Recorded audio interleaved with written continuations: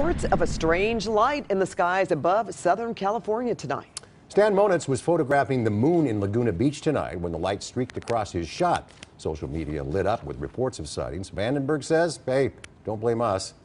We didn't launch a missile.